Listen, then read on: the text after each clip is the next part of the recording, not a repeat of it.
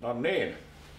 Hyvää huomenta tai aamupäivää sinne puolelle täältä Kurren puupajasta. Pieni lisäys eiliseen videointiin.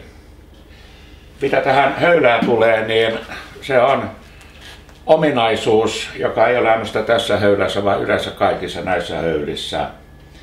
Ja vähän harrastelija höylissä, kuten tuossa minun emkossani, joka nyt on hieman isompi siinä olen oppinut sille, että jos mulla on useampi kappale, niin mä työnnän niitä peräkkäin menemään, niin, niin, niin ensimmäisenä niin kuin jätepuu, saman paksuinen pala, joka menee ensin höylään ja sitten tulee nämä höylättävät peräkkäin ja sitten viimeisessä niin se sama kappale taas, niin mikä sieltä on jo höylätty, niin näitä snipe nipistyksiä niistä puun päästä ei tule. Ja tämä höylässä ennen kaikkea näissä se on. Toinen asia, mitä olen tehnyt tuolla isolla höylällä on, kun sinne pitempi puu lähtee, niin mä nostan sitä ylöspäin tai niin kuin kannatan tavallaan siihen pöytään nähden ja se on yleensä tuntunut toimivan. Ja sitten vastaavasti, kun se tulee ulos tuolta, niin olen nostanut sitä, niin sekin on näyttänyt toimivan. Ja riittävän hyvin, jopa ihan kiitettävästi. Mutta se on se höylä. Tässä on sama juttu. Eli kun laittaa sinne, otetaan nyt tuosta vaikkapa tällainen esimerkiksi, että kun se lähtee tuonne menemään, no nyt se on se tuolla lähtee tuonne menemään, niin pidetään niin kuin, vivutaan ylöspäin ja sitten kun se tulee takaisin sieltä, niin pyritään vipuamaan ylöspäin, niin niillä sitten vältytään. Mutta se mikä on, se on. Ja ja tuota, niin, niin, sitten vaan kiirisaha ja kappaa tai jollain muulla sahalla kappaa se huonon pään pois. Se siitä. Ja sitten mitä siihen mun kanoni kaneveraan tulee, niin ne ominaisuudet, jotka löytyi sieltä, oli, että kun täällä oli tällainen kova ääni, niin se automaattisesti vaimensi äänen alas. Mutta se ei tajunnut enää sitten, kun tämä kova ääni lähti, katosi täältä ja alkoi puhe, niin se ei enää tajunnut nostaa ylös. Olisi pitänyt sammuttaa kamera ja käynnistää uudelleen, sanoi Canonin huolto.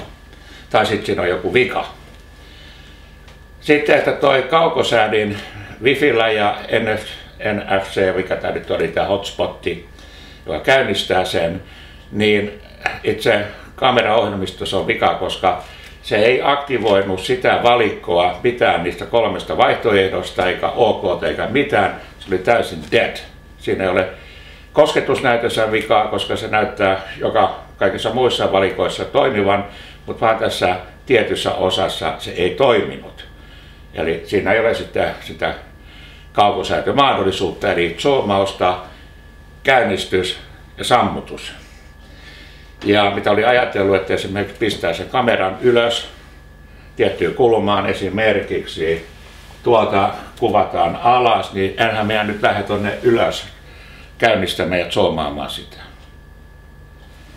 Vaan se pitää olla joku napukka kädessä, joten se lähtee nyt takaisin giganttia, ja tuota, joka toimittaa sen kanonille huoltoa heidän valtuuttamalle, valtuuttamalle huollolle ja minun puolestani saavat pitää sen, koska mitä ääneen tulee, niin se nyt ei ole niin sataprosenttisen ratkaisevaa, se on 98 prosenttia tietenkin, että siinä on ääni, mutta hän sanoi, että näin halvoissa kameroissa, joka on noin 500 euroa ja niin ei voi laittaa ja satsata ääneen. Se ei vaan ole. Pitäisi olla ulkoinen mikrofoni. Mutta kun siellä kameraan ei saa sitä ulkoista mikrofonia. Joten tällaista tänä aamuna ja nyt ruvetaan katsomaan sitten ää, lisää näitä ja muita hieman duunia täällä vaihteeksi. Kunhan ensin käynyt sit sisällä pistämässä kirkkihallarit päälle tai talvihallarit ja pitäisi mennä tuonne ulos saamaan vähän puita.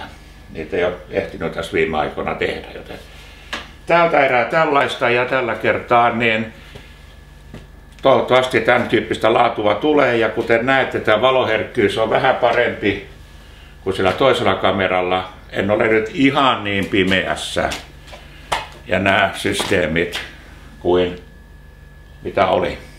Joten tällaista. Oho, väärä sää.